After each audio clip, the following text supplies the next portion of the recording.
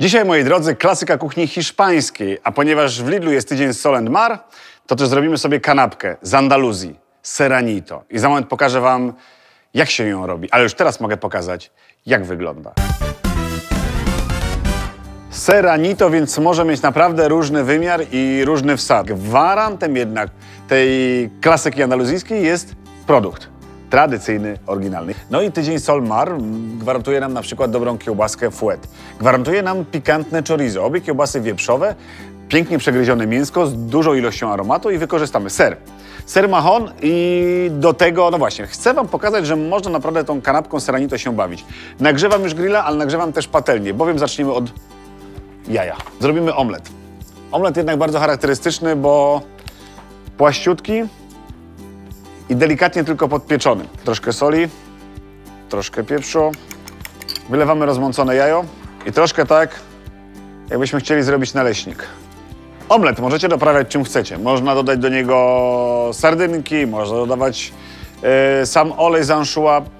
Wolność Tomku w swoim domku, w zasadzie w swojej kuchni, bowiem cała zabawa polega na tym, że taka kanapka może być naprawdę wasza. Co więcej, jak chcecie się pobawić, to możecie e, dla gości przygotować wersję wegetariańską, mięsną albo nawet rybną.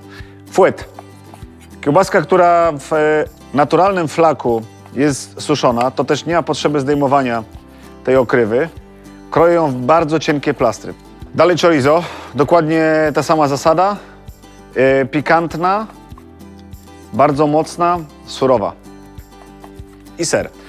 Ser mahon, e, mięciutki, ale bardzo ładnie się rozpuszczający, więc kilka plastrów takiego sera do kanapeczki też damy. Winienem dać, dać też tam jakieś warzywa. Mm, Mogła to być papryka smażona, bardzo często. Możecie teraz taką kupić e, upieczoną i obraną ze skóry, zamarynowaną albo w oliwie, albo też w naturalnej zalewie. Mm, I mógłbym ją taką dać do środka, ale postanowiłem pokazać wam, że taką kuchnią, kuchnią andaluzyjską, bo stamtąd pochodzi właśnie seranito, można się świetnie bawić i chcę wam zaproponować coś zupełnie innego. Czyli ze wszystkich tych rzeczy, które mogłyby się znaleźć w kanapce, kapary, karczochy, papryka, sardynki i coś zielonego, u, zrobimy salsę, coś w rodzaju pesto. Ale grzeszyłbym, jakbym głośno powiedział pesto, dlatego mówię cichutko pesto, żeby się w Hiszpanii nie obrazili. Kapary. Odsączamy. Papryka. Może po kolei, żeby to było widoczne. Kapary słone, papryka z kolei naturalna, choć zgrillowana, to ładnie pachnie. Też ją odcedzę. Do tego karczochy. W zasadzie serca karczochów kompletnie nieznane w zalewie naturalnej, e, w takiej wodnej. Dobre do sałatek, ale bardzo dobrze e, wzmagające. Mają dosyć charakterystyczny aromat. Jeżeli nie próbowaliście, to powinniście. Paprykę i kapary siekam. Miseczka. Papryka. Również pokrojona, również posiekana. Posiekana papryka do środka. Czosnek, bo bez tego nie wyobrażam sobie kuchni hiszpańskiej, też e, posiekamy i też drobniutko. Rozgnieciony po prostu. Coś zielonego, by ożywić nieco tę sałatkę, aż mnie korciło, żeby dodać kolendrę, ale nie. Matka Pietruszki. Jezu, chyba trzeci program e, z rzędu, w którym nie ma kolendry. Albo się starzeje, albo mi się przejadła. Nie, zabrali mi. Taka jest prawda. Zresztą dajcie znać w komentarzach, jakbyście chcieli z powrotem jakieś danie z kolendrą. Dajcie znać. Hyc. Jeden albo dwa karczochy, posiekane także. Cała magia pesto. Wuu, wróć! Cała magia salsy. Jesteśmy w Hiszpanii. Eee, zamknięta w tym, że to ładnie wygląda na etapie przygotowania. Natomiast chciałbym dodać to jeszcze jeden element, mianowicie dobrą sardynkę.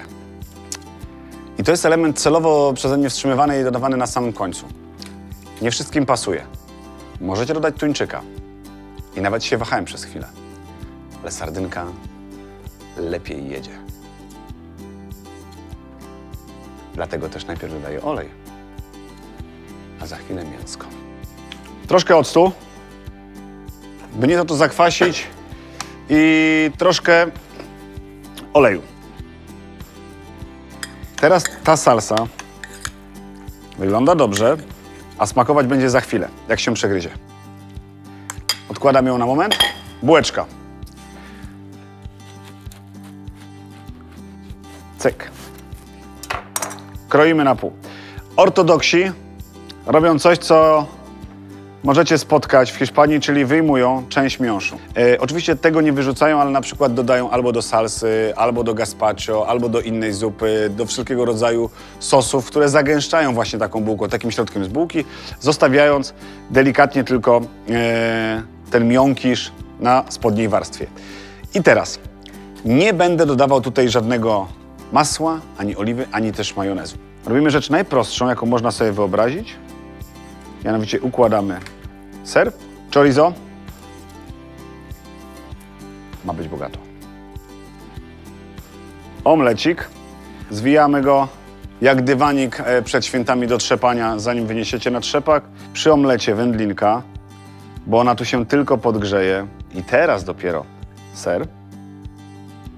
No i wreszcie coś, co moglibyśmy zrobić na dole, ale wydaje mi się, że e, na górze będzie znacznie przyjemniej, czyli salsa. Wypełnijmy tę kanapkę sardynkową, warzywną, kwaskową lekko salsą. I tak naprawdę podgrzewamy tę kanapkę, nie ściskamy jej za mocno. E, Ten grill ma też taką funkcję, że ta górna pokrywa się podnosi, co jest akurat dobre w przypadku grubych kanapek. Tego możecie robić dowolną grubość, możecie robić dowolny wsad, dowolny wkład. Dajcie co chcecie. I teraz tylko czekamy, aż bułeczka się zapiecze, odda temperaturkę do sera, serek się rozpuści, ale my w tym czasie zrobimy sałatkę. Sałatka, którą zamierzam podać, bo nie chcę, żeby kanapka była li tylko e, zwykłą bułą wypełnioną dobrymi składnikami, ale żeby jednak to było pełnowartościowe danie. Dlatego też e, sałata rzymska. Klasyk to, choć zmieniony.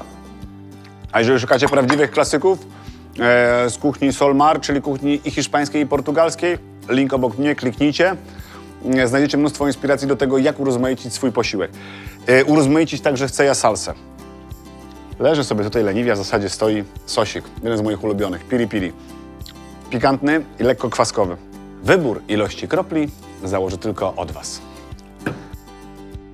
Możecie śmiało dodać ten sos piri piri e, przed zrobieniem kanapki. Ja nie to, że zapomniałem, ale wyeliminowałem go na pewnym etapie w procesie myślowym swoim.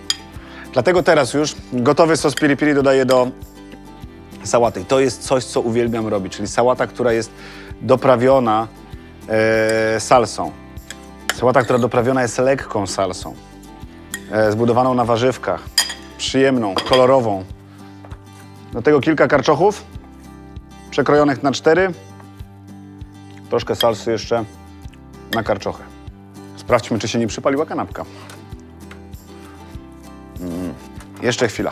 Nienawidzę kanapki, która jest z zewnątrz spalona, a w środku lodowata.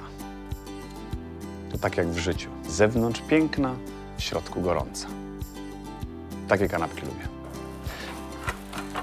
O! Kroimy standardowo na pół. Ciepła, soczysta i prosto z Andaluzji. W oczekiwaniu na Wasze łapki w górę, komentarze i subskrypcje życzę Wam smacznego.